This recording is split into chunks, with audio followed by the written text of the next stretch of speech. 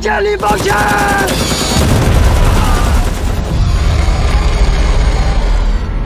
暹罗日元年三月二十二号，那个逃兵已经死了。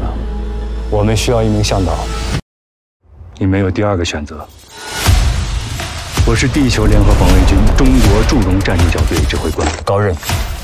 我看你们这身装备挺专业的啊。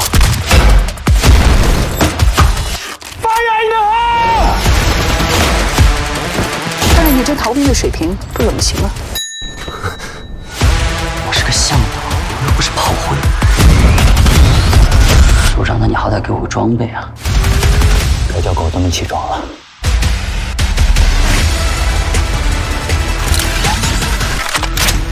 狗子们，起来啊！战胜一切艰辛困难，达到目标才是我们中国的命。只要我们还在战斗，就没有人是逃兵。